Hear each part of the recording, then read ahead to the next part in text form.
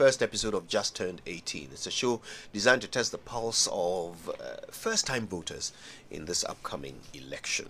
Now, of course, uh, from tomorrow, uh, a, a, registration exercise will begin. That's mm-hmm. the opportunity for a lot of these young people to get yeah. their names onto the ballot. Uh, but they're already raising some issues. Uh, around it. Let's let's talk about solutions. Uh, we're joined over the phone by Joyce Nyame. She's a programs manager at Youth Bridge Foundation. Joyce, what a pleasure to have you on the show. Good morning. Hi, good morning. It's a pleasure as well. So I noticed that a lot of a lot of the young people uh, are concerned about the process, the tedium of the process, having to queue behind stones and chairs, stand in the hot sun just to get their names on the voters' roll. I mean, this is a reality. It happens to all of us. But what what's the way around it? How can we ensure that young people don't get put to too much inconvenience that might end up discouraging them from uh, exercising their civic duty? Thank you very much for this opportunity, and I would like to say uh, congratulations to Joy for this initiative.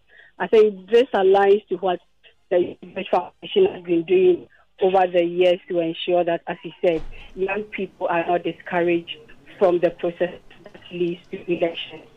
So one, as a company, I think we need to have a conversation around making sure that young people are on the tables when it comes to these processes. So, for instance, as you said, we are going to start the voter registration. How are we ensuring that the time the venues are convenient to young people, and even the information back to them to know that this is the period for which they should be able to join the process to be able to uh, be eligible to vote. And then also, how do we make sure that the information around the process are in a way that these people can access? So we are not just about um, English language, but in other formats that young people and even young persons with disability can also access. So there, there is a need for a whole inclusivity and also responsiveness when it comes to these processes so young people can access them. Mm. Do you find that the authorities are alive to these these concerns and are designing solutions to them?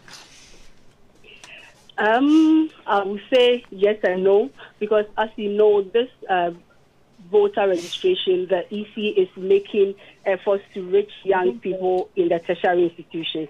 So there are uh, position, um, provisions made for uh, in-school registration, I mean, on the tertiary schools. But when we say young people, we are not just looking at the people in the tertiary schools, that is the in-school youth. There are other people outside this group of people. So how do we make sure that even the person in the community, and then we also want to applaud the EC that it is also making efforts to reach the people, um, what they call the far to reach areas.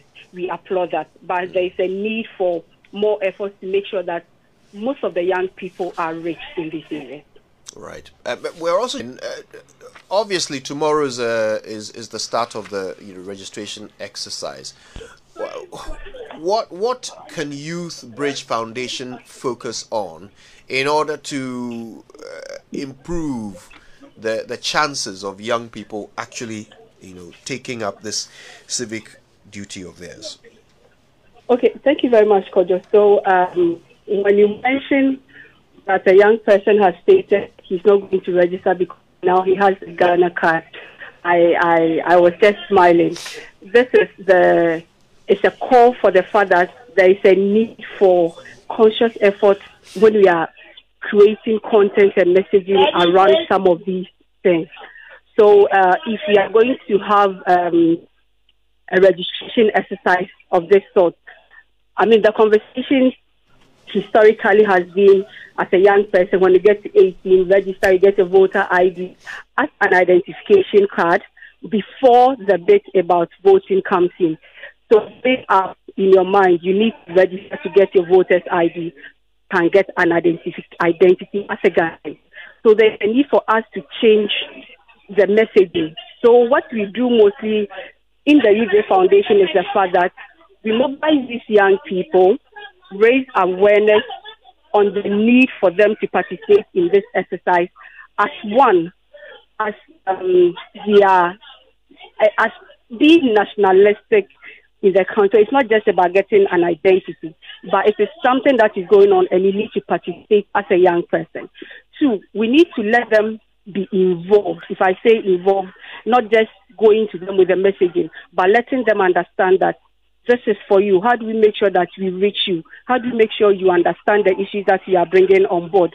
So, um, as I initially said, with the foundation every election year, and then ahead or before, after every election year, we make sure that we inspire or ignite the passion among young people to be part. So it's not just about getting the identity as a Ghanaian, but you are excited to vote for the first time.